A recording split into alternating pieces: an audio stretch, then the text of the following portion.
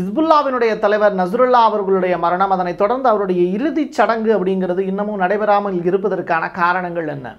இறந்த உடலை ரகசியமாக வச்சுருக்காங்களே அதுக்கு என்ன காரணம்? இப்போ புதிதாக தேர்ந்தெடுக்கப்பட்டிருக்கக்கூடிய தலைவர் இரண்டே நாளில் மீண்டும் மரணம் அடைந்திருக்கிறார் அப்படிங்கிற செய்தி.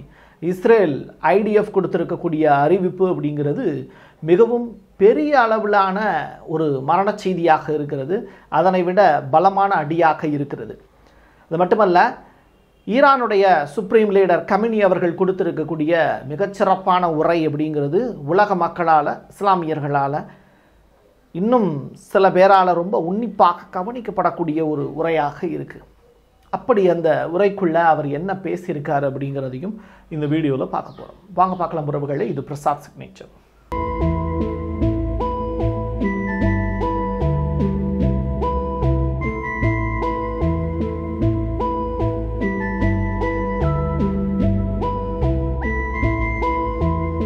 ஹிஸ்புல்லாவினுடைய தலைவர் நசருல்லா அவர்களுடைய மரணத்திற்கு பிறகு லெபனானில் பெரிய அளவிலான தாக்குதல்களை இஸ்ரேல் நடத்திக்கிட்டு தான் இருக்குது அவங்களுக்கு உதவி செய்யக்கூடிய வகையில் ரஷ்யா உதவி பொருட்களை அனுப்பிச்சிக்கிட்டே இருக்குது லெபனானை தாண்டி சிரியாலையும் ஈராக்லையும் போர் அப்படிங்கிறது நீண்டுக்கிட்டே இருக்குது இதை ரஷ்யா தனக்கு சாதகமாக பயன்படுத்திக்கிட்டு ஆயிரத்தி தொள்ளாயிரத்தி அறுபதனுடைய தொடக்க காலகட்டத்தில் சிரியாவை எப்படி கைப்பற்றி வச்சிருந்ததோ அதே மாதிரியான ஒரு மீள் நடவடிக்கையில் இப்போ ஈடுபடுறாங்க.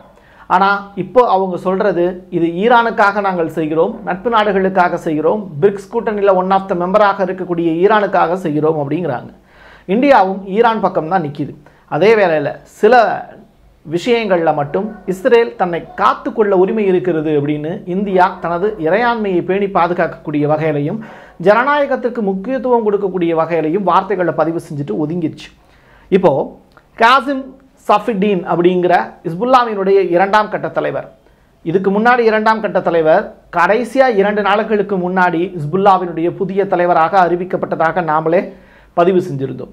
இப்போ அவருடைய மரணம் நிகழ்ந்ததாக அக்சியோஸ் அந்த ரிப்போர்ட் பதிவு செய்கிறாங்க அவங்க சொன்னதாக ராய்டர்ஸும் செய்தி நிறுவனமும் உறுதிப்படுத்துகிறாங்க ஐடிஎஃப் சைடில் எப்பயும் போல் ட்விட்டரில் எலிமினேட்டட் அப்படிங்கிற அந்த போஸ்ட் போட்டு அவருடைய ஃபோட்டோவும் பதிவு செஞ்சுருக்காங்க. ஹிஸ்புல்லா சைடில் இன்னும் இதை உறுதிப்படுத்தலை. ஆனால் நஸ்ருல்லா அவர்களை கொலை செய்ய போது எப்படி ஆயுதங்களை பயன்படுத்தினாங்களோ அதே மாதிரியான பங்கர் ஸ்ட்ரைக் மூலியமாக தான் இப்போது இவரையும் கொலை செய்திருக்கிறதாக ஐடிஎஃப் செய்தியை வெளியிட்டிருக்கு. அந்த வகையில் இருபதுக்கும் மேற்பட்ட பாம் வந்து பயன்படுத்தப்பட்டிருக்கலாம் அப்படின்னு நசுருல்லா அவர்கள் மரணத்தின் போது சொன்னாங்க. இப்போது அதை விட முப்பதுக்கும் மேற்பட்ட பாம் வந்து அட்டாக் பண்ணியிருக்காங்க அப்படிங்கிற செய்தி வெளியாயிருக்கு. அதுவும் பத்து நிமிட இடைவெளியில் இந்த தாக்குதல்கள் இரண்டு கட்டமாக நடத்தப்பட்டிருக்கு அப்படிங்கிற செய்தி. ஸோ மக்களை கலைஞ்சு போகிறதுக்கு ஒரு வாய்ப்பு கொடுக்கறதுக்கு எந்த இடத்துலையுமே நேரம் இல்லை. முன்னதாகவே கணிச்சிட்டாங்க. ஆனாலும் மக்களால் ஒரு இடத்துல இருந்து அந்த இடத்துலேருந்து அப்புறப்படுத்தப்பட முடியல. இதனால் பெரிய அளவிலான உயிரிழப்புகள் ஏற்பட்டிருக்கலாம் அப்படின்னு சொல்கிறாங்க இது ரொம்ப பெரிய அளவிலான தாக்குதலாக இஸ்ரேல் கொண்டாடிக்கிட்டு இருக்காங்க. லெபனானில் இது ஒரு மிகப்பெரிய ஒரு பாதுகாப்பு அச்சுறுத்தல் அப்படின்னும் மக்களுக்கு எந்த நேரத்திலையும் உயிர் பயம் இருந்துக்கிட்டே இருக்குது அப்படிங்கிற ஒரு விஷயமும் தியாகம் அப்படிங்கிற வார்த்தையினால் அவங்க அடுத்த கட்டத்தை நோக்கி நகர்ந்துக்கிட்டு இருக்காங்கங்கிறது தான் யதார்த்தமான உண்மை. இப்போது இறந்து போனதாக சொல்லப்படக்கூடிய அந்த நபரை பற்றிய விவரங்களை நம்ம பார்த்து தெரிஞ்சுக்க வேண்டிய தேவை இருக்குது ஸோ பங்கர்பஸ்ட் அடிப்படையில் அவர் கொலை செய்யப்பட்ட நபர் குவாம் அப்படின்னு சொல்லப்படக்கூடிய ஈரானில் இருக்கக்கூடிய அந்த நகரத்தில் படித்து வளர்ந்தார்.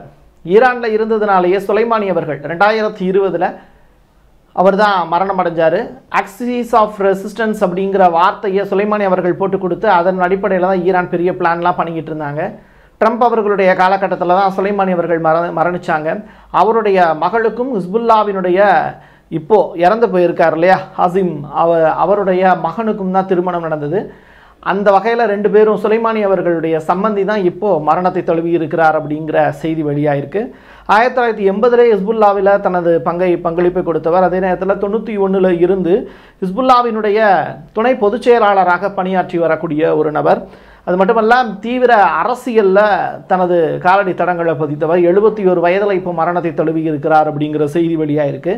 ஸோ இந்த செய்தி வெளியான உடனே எகிப்தினுடைய அதிபர் எல்சிசி ஒரு ஸ்டேட்மெண்ட் சொல்கிறாரு நாங்கள் பாலஸ்தீனத்துக்கும் லெபனானுக்கும் ஆதரவாகவும் நிச்சயமாக இருப்போம். எங்களுடைய உதவி எப்பயுமே இந்த இரு நாடுகளுக்கும் இருக்கிறது அப்படிங்கிற ஸ்டேட்மெண்ட்டையும் டூ ஸ்டேட் பாலிசி விரைவிலேயே வரணும் அப்படிங்கிற ஒரு வார்த்தைகளையும் பதிவு செய்து தன்னுடைய இருப்பை காட்டிக் கொண்டிருக்கிறார் எல்சிசி அப்படிங்கிற செய்தி. வெள்ளிக்கிழமை தொழுகை அதை பற்றி நம்ம ஏற்கனவே நிறையா வீடியோக்குள்ளே போட்டிருந்தோம். இஸ் ஈரானுடைய உச்சபட்ச தலைவராக இருக்கக்கூடிய கமினி அவர்களுடைய ஸ்பீச் அப்படிங்கிறது வெள்ளிக்கிழமை தொழுகைக்கு பிறகு நடைபெறும் அப்படின்னு. வியாழக்கிழமையே இன்றைய தினமே ஒரு பெரிய அளவிலான மீட்டிங் போட்டு அதில் பேசியிருக்காங்க.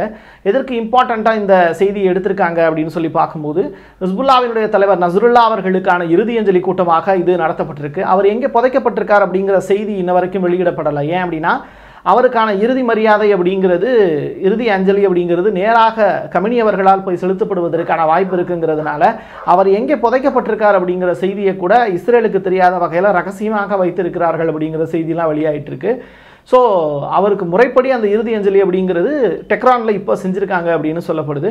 ஸோ அந்த தொழுகைக்கு பிறகு அதற்கு பிறகு தான் இந்த பே ஸ்பீச்சை வந்து கமினி அவர்கள் கொடுத்துருக்காங்க. கமினி அவர்கள் என்ன பேசியிருக்காங்க அப்படிங்கிறத நான் வரிசையாக சொல்கிறேன் அதுக்கு முன்னதாக ஐக்கிய நாடுகள் சபை ஒரு அர்ஜென்டான மீட்டிங் ஒன்று நடத்தியிருக்காங்க.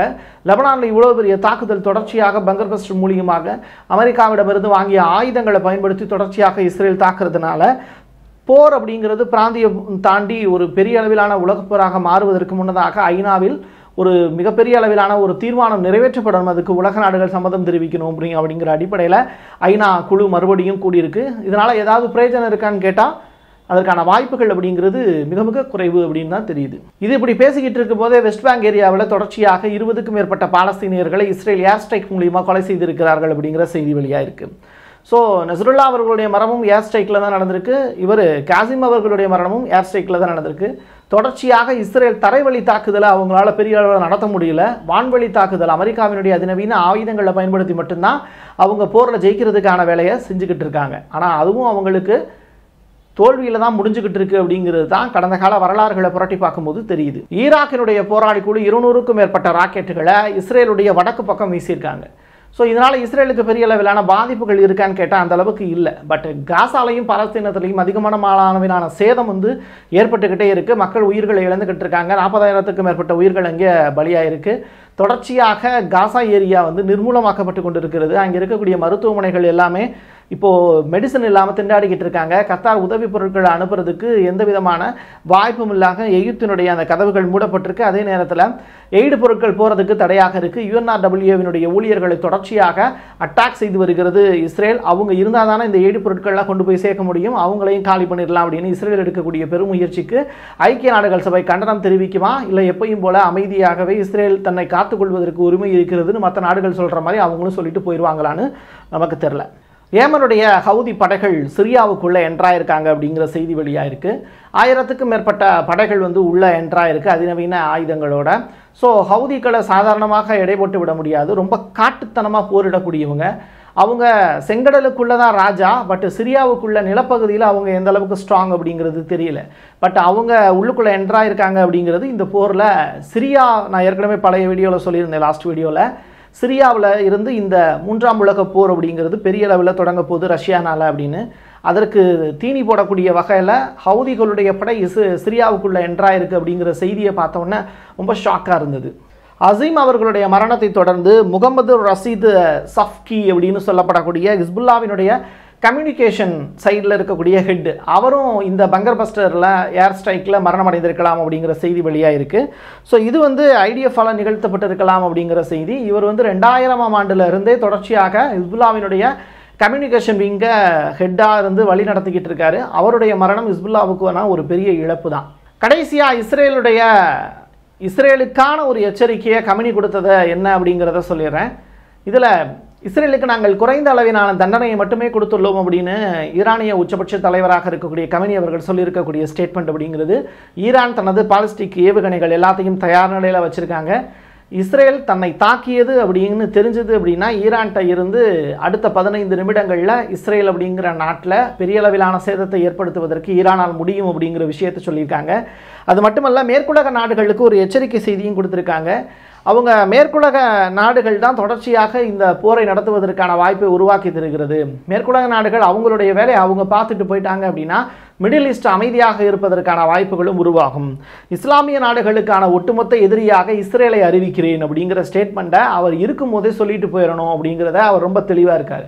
ஏன்னா இஸ்ரேலுடைய அடுத்த இலக்கு அப்படிங்கிறது கமினி அப்படிங்கிறத சொல்கிறாங்க பட்டு கமினி அவர்களை டச் பண்ணுற அளவுக்கு இஸ்ரேலுக்கு தைரியம் இருக்குமா அப்படின்னு தெரியாது அமெரிக்காவுக்கும் தைரியம் இருக்குமான்னு தெரியாது. ஆனால் அந்த வேலையும் செய்வதற்கு இவர்கள் துணியா துணியாதவர்கள் அல்ல. அதற்கான முயற்சிகளையும் எடுத்திருப்பாங்க. அதில் மாற்று கருத்து இருக்க முடியாது. ஆனால் அதை தாண்டி டிஃபென்ஸ் அப்படிங்கிறது ஈரான்கிட்ட பெரிய அளவில் இருக்குது அவங்களுடைய ரஷ்யா இருந்து வாங்கின எஸ் ஃபோர் ஹண்ட்ரட் உள்ளிட்ட அந்த வான் பாதுகாப்புங்கிறது ஸ்ட்ராங்காக தான் இருக்குது அதில் மாற்று கருத்து இருக்க முடியாது. அயன்டோ மாதிரி. அந்த வகையில் வந்து கமனியவர்களை பாதுகாப்பது அப்படிங்கிறது ஈரானுக்கு இருக்கக்கூடிய மிகப்பெரிய கடமை. அதை சரிவர செய்வார்கள் அப்படிங்கிறத நம்புவோம். என் கையெழுத்து என் மக்களுக்கானது உறவுகளை மீண்டும் ஒரு பதிவில் சந்திக்கலாம். நன்றி வணக்கம்.